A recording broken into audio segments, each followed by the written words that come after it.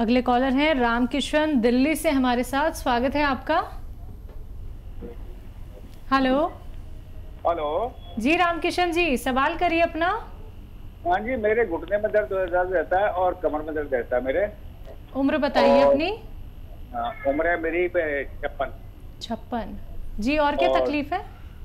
और तकलीफ़ ये है मैं काम करता हूँ मिस्त्री का सीमेंट से मेरे हाथ में हाथों में एलर्जी हो रखी है खुजली मचती है बहुत ज़ोर से। हम्म। और खुजाता हूँ कि खून निकल जाते हैं। ठीक है। ठीक है। हाँ, जब आप काम पे जाया करें तो अपने हाथों में एक तेल आता है जिसे हम अरंडी का तेल कहते हैं।